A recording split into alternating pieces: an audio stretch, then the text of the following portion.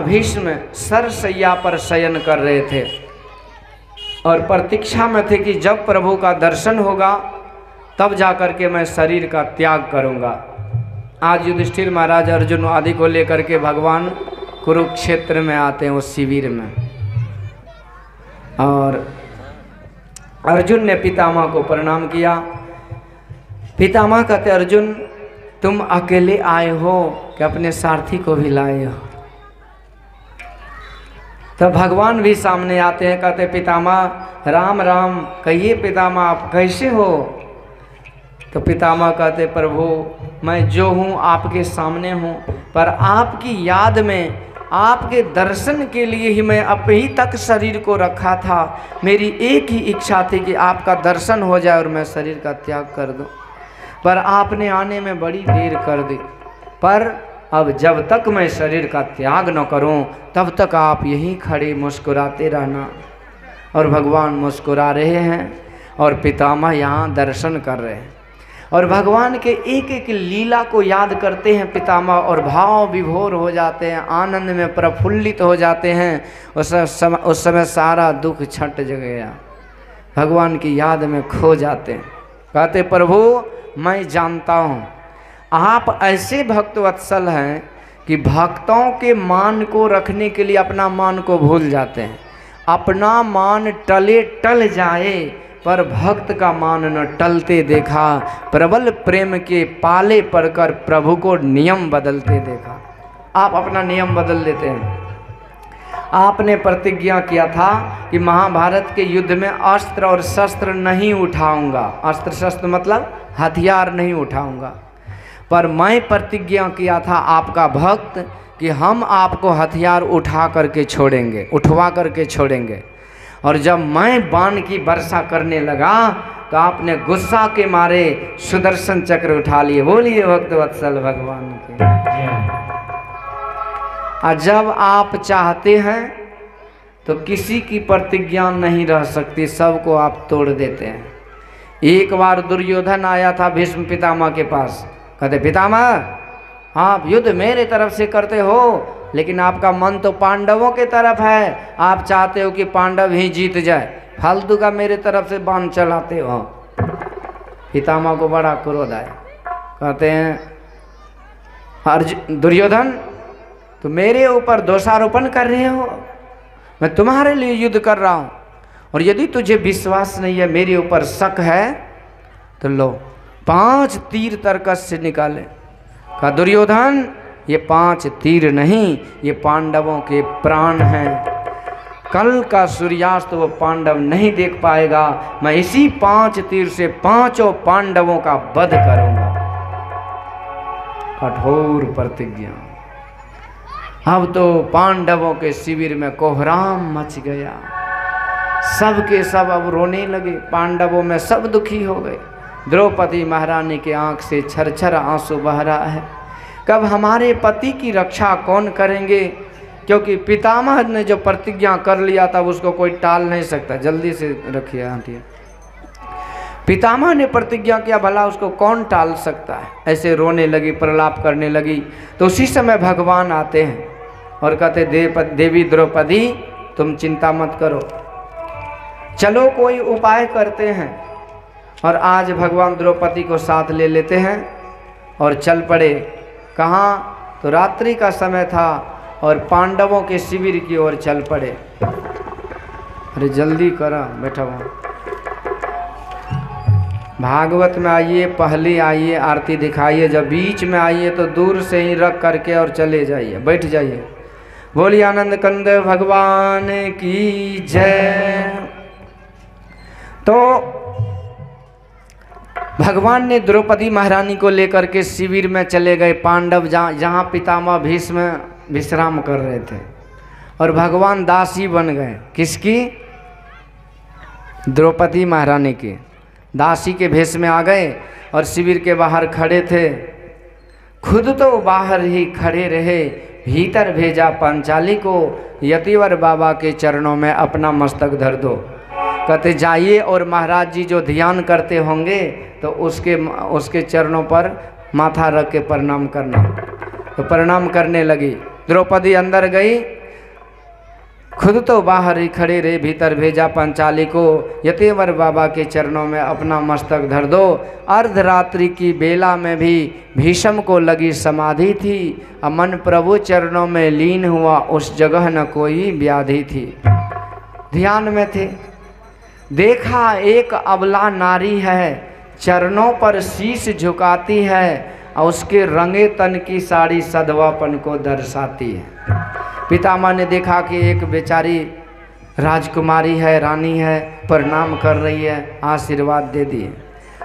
आशीर्वाद मुख से निकला, सौभाग्यवती भव बेटी। और तेरे हाथों से मेहंदी का रंग न छुटे बेटी। सौभाग्य तुम्हारा अचल रहे, सिंदूर न मांग से खाली हो। अब भर देता हूँ बेटी, तुम वीर कुमारों वाली। आशीर्वाद दे। शानदार आशीर्वाद दे दिए। उसी समय द्रौपदी महारानी ने अपने घूंघट को हटा ली। अब पितामह ने देखा तो हके बके रह गए। हे भगवान, मैंने इसी पति, इसी के पति को मारने के लिए दिन में प्रतिज्ञा किया था। आज हमारी कैसे मति मारी गई, इसी को मैंने आशीर्वाद दे दी। सौभाग्यवती, सौभाग्य तो वही होगी, न सौभाग्यशालिनी जिसके पति जीवित होंगे।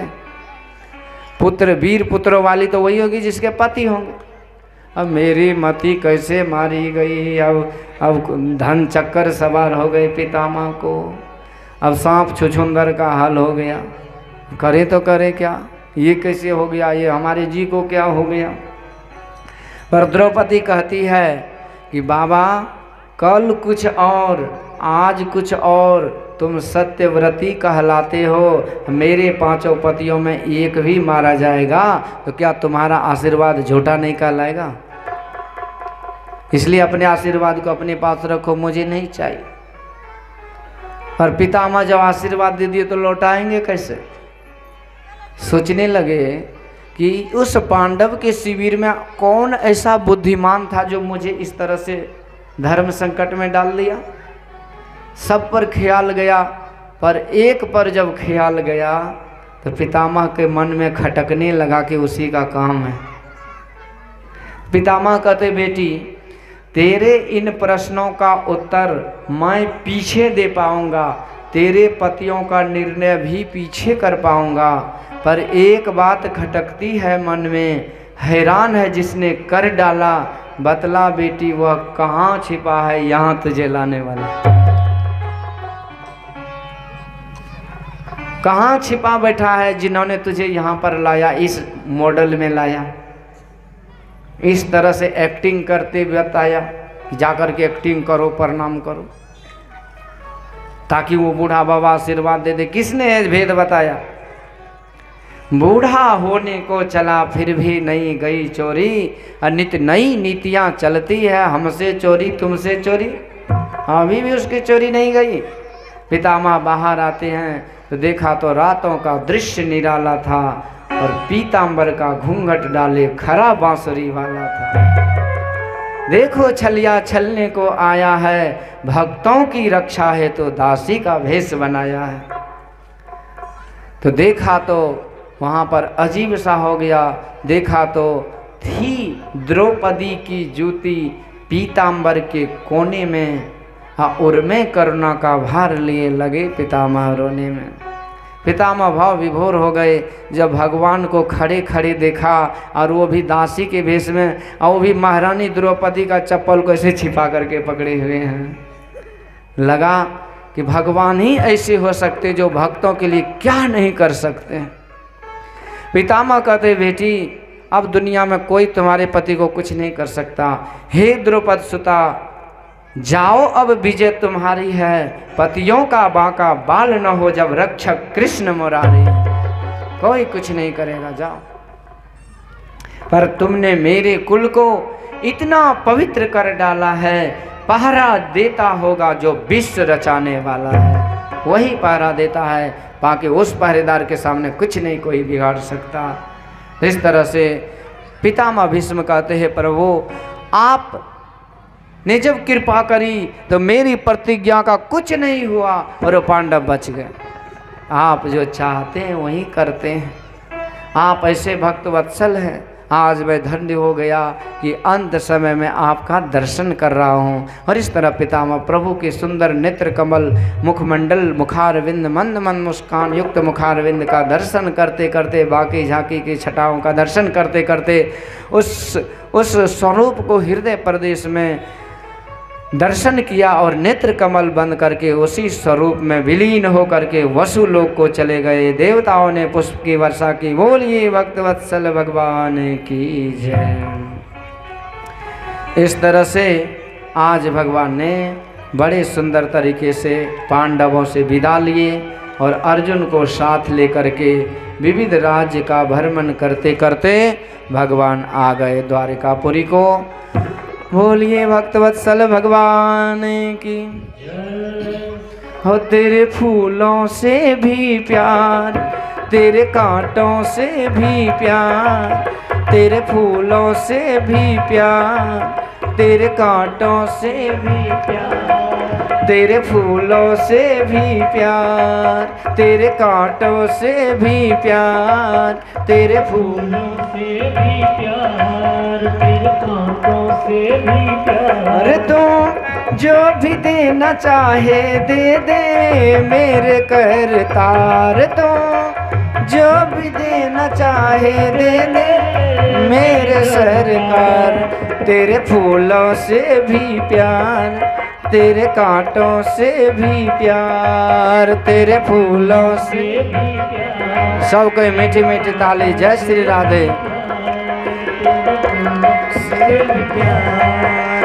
कांटों से भी प्यार तो जो भी देना चाहे दे दे मेरे सरकार तो जो भी देना चाहे दे दे।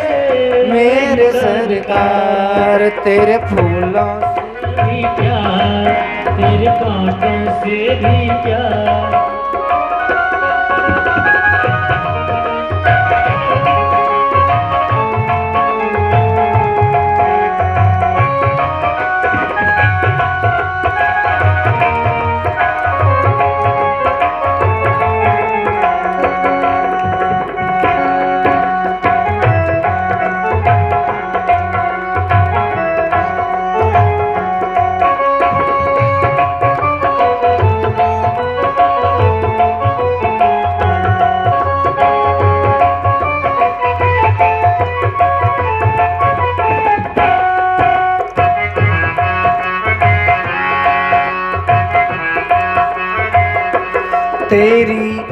मर्ज़ी में विधाता कोई, छुपा बड़ा राज तेरी। मर्ज़ी में विधाता कोई, छुपा बड़ा राज तेरी। मर्ज़ी में विधाता कोई, छुपा बड़ा राज तेरी। मर्ज़ी में विधाता कोई आज दुनिया चाहे हमसे रूठे तो ना होना नाराज़। दुनिया हमसे रूठे तो ना होना नाराज़। दुनिया चाहे हमसे रूठे तो ना होना नाराज़। दुनिया चाहे हमसे रूठे तो ना तुझे बंधन है बार बार तुझे बंधन है बार बार। तुझे बंधन है बार बार तुझे बंधन बंधन है बार बार। हमको कर ले तू स्वीकार हमको कर ले तू स्वीकार। हमको कर ले तू स्वीकार हमको। कर ले तू स्वीकार। तू जो भी देना चाहे दे दे मेरे सरकार तू। जो भी देना चाहे दे दे मेरी सरकार। तेरे फूलों से भी प्यार तेरे कांटों से भी प्यार तेरे फूलों से भी प्यार तेरे कांटों अरे दो, जो भी देना चाहे दे दे। मेरे सरकार तो जो भी देना चाहे दे दे। मेरे सरकार तेरे फूलों से भी प्यार, तेरे कांटों से भी प्यार।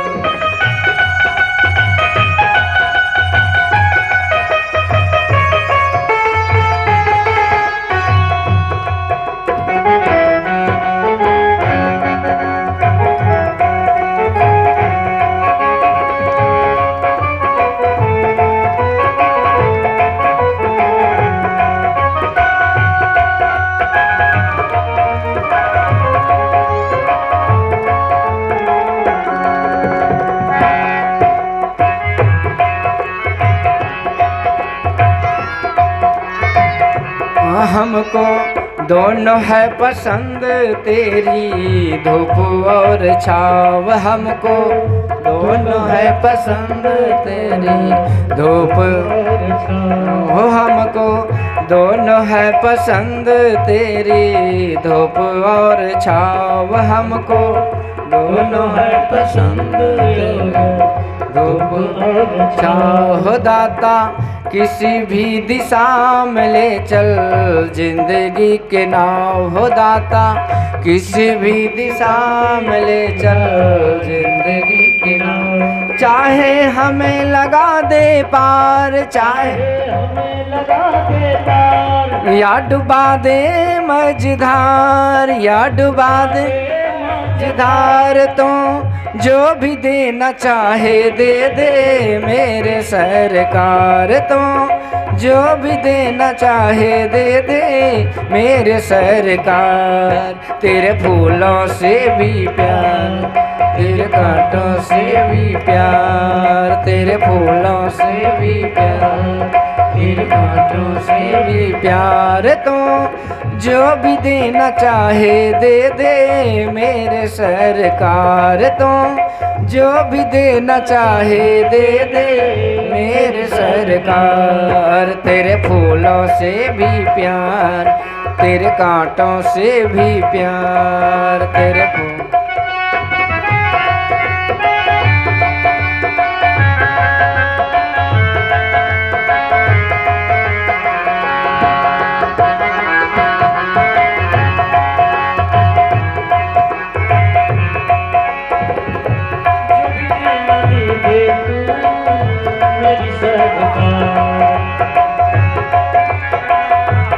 चाहे, सुख दे या दुख चाहे, खुशी दे या गम हो चाहे।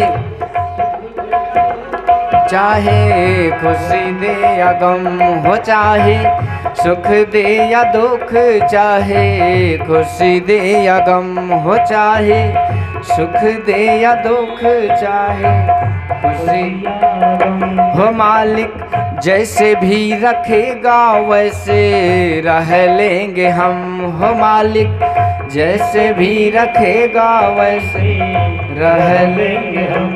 चाहे हँसी भरा संसार, चाहे हँसी भरा संसार। चाहे आंसुओं की धार, चाहे चाहे हँसी भरा संसार, चाहे आंसुओं की धार तो जो भी देना चाहे दे दे मेरे सरकार तो। जो भी देना चाहे दे दे मेरे सरकार, तेरे फूलों से भी प्यार। तेरे कांटों से भी प्यार, तेरे फूलों से भी प्यार, तेरे कांटों से भी प्यार तू जो भी देना चाहे दे दे मेरे सरकार तू जो भी देना चाहे दे दे मेरे सरकार, तेरे फूलों से भी तेरे कांटों से भी प्यार, तेरे फूलों से भी प्यार, तेरे कांटों से भी प्यार, तेरे फूलों से भी प्यार, तेरे फूलों से भी प्यार। बोलिए भक्त वत्सल भगवान की।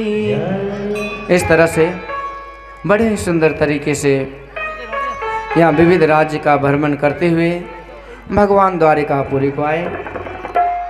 पांडवों के घर आज विदुर जी महाराज बहुत समय के बाद आए। तो पांडव में जो धृतराष्ट्र था, उसको लेकर के विदुर जी जंगल को चले गए और उसकी मुक्ति हो गई। समय पा करके पांडव के घर में एक बालक का उत्तरा माँ ने जन्म दिया। अब युधिष्ठिर महाराज की खुशी में भी चार चाँद लग गए। आनंद उत्सव मनाए, बहुत धूमधाम के साथ वहाँ पर बालक का जन्मोत्सव मनाया गया और नामकरण किया गया। उसका दो नाम था, एक विष्णु रात और दूसरा परीक्षित। परीक्षित के नाम से वो बालक विख्यात हो गया।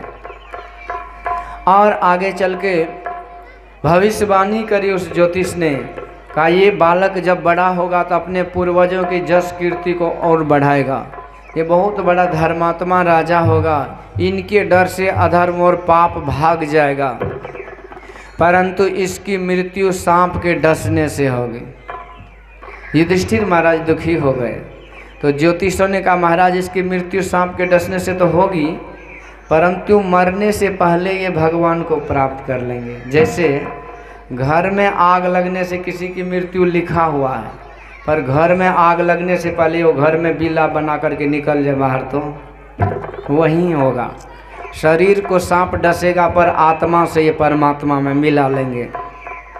तब युधिष्ठिर महाराज को शांति मिली, समय बीतता गया और एक दिन अर्जुन लौट करके आया द्वारिकापुरी से, पर रोता हुआ अर्जुन को देखकर युधिष्ठिर ने पूछा, भाई, तुम रो क्यों रहे हो? तुम तो बड़े योद्धा हो, धनुषधारी हो, गांडीवधारी हो तो तुम इस तरह से रो क्यों रहे हो? हमारे प्रभु का समाचार द्वारिका वासियों की खुशखबरी तो सुनाओ।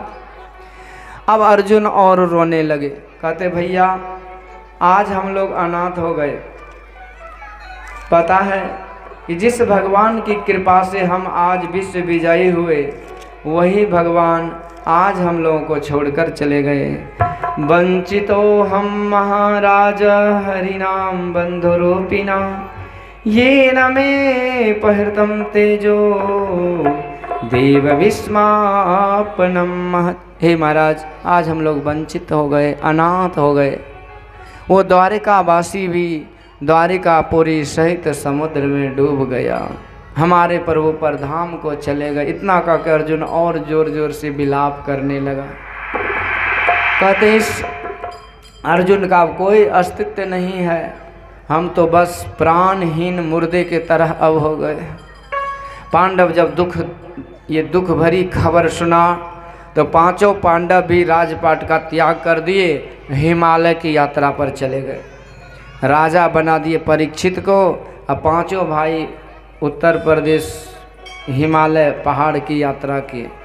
जाते जाते उधर गंगोत्री में ऊपर सतोवन में, तपोवन में जाकर के तप करते हुए शरीर को गला करके स्वर्ग के अधिकारी हो गए। इस तरह से एक युग का अंत हो गया। पांडव युग का अंत हो गया।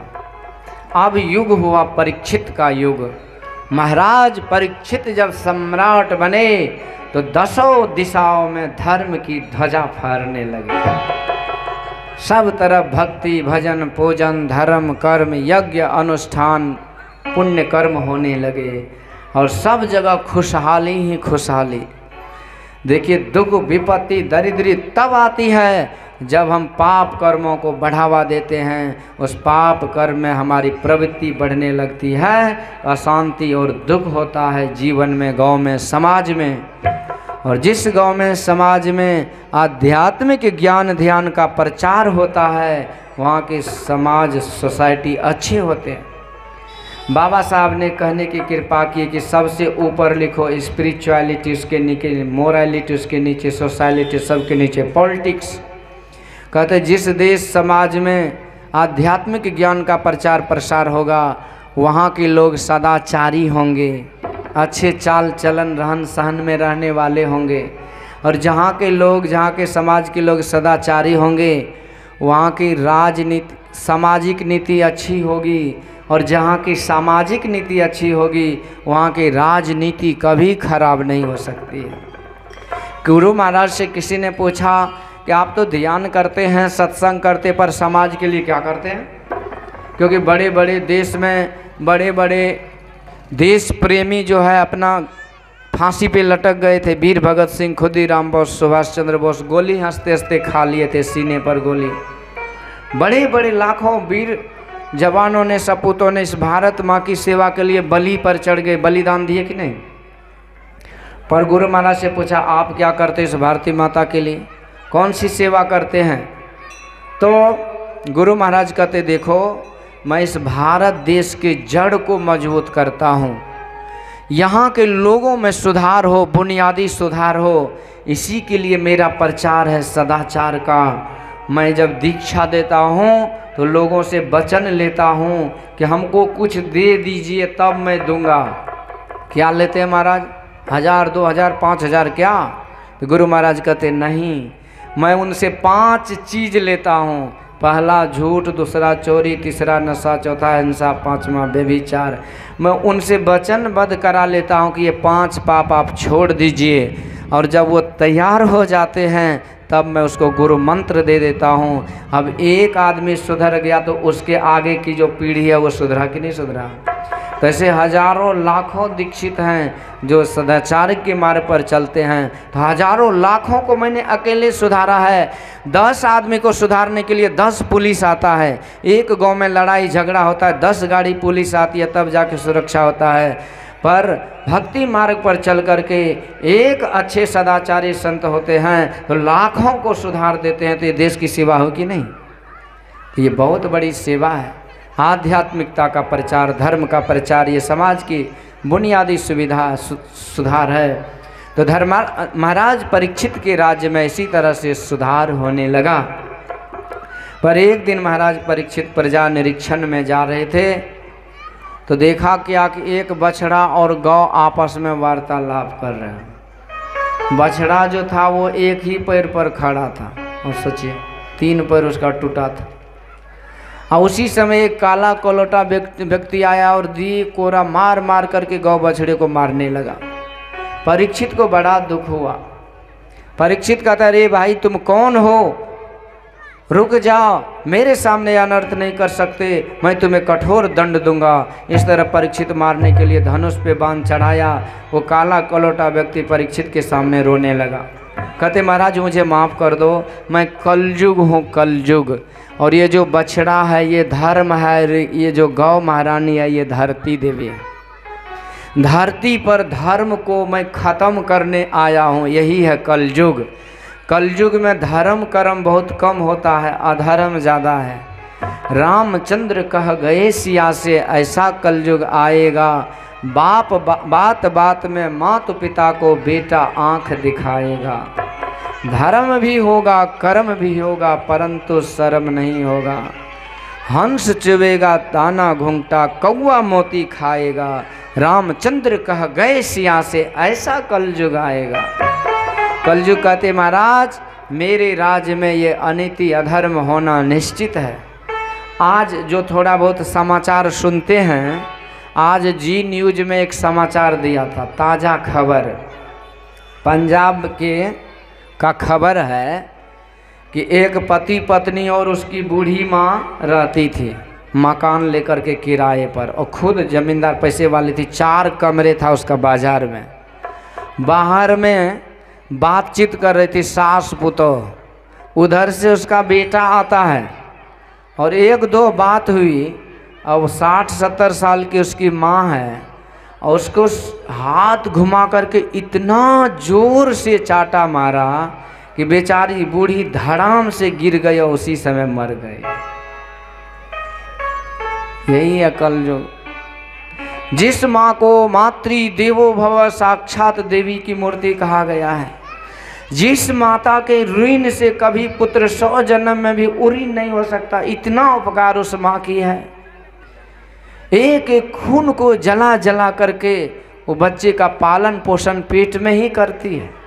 शरीर सूख जाता है, खून पानी हो जाता है और शरीर पीला पड़ जाता है उस बच्चे का पालन। बच्चे के नाभि से माता के शरीर का खून जाता है, अन्न पानी जाता है, तब बच्चे का पोषण होता है। वो भी एक दिन नहीं, दो दिन नहीं नौ नौ महीने और फिर सौ सौ बार वो बच्चा पैखाना पेशाब करता है माँ को कभी घिन घिना नहीं लगता। ठंडी हो, गर्मी हो, बरसात हो, कपड़ा बदलने के लिए, नहाने के लिए, सब जगह से तैयार रहती है। ऐसी सेवा, ऐसा उपकार और ऐसी माँ को एक चाटा में ही जान से मार देना, ये कलयुग में ही संभव है। तो कलयुग कहते यहाँ पर धर्म को खत्म करने के लिए मैं आया, मुझे मारा छोड़ दो। परीक्षित कहते सुनो यदि तू धर्म को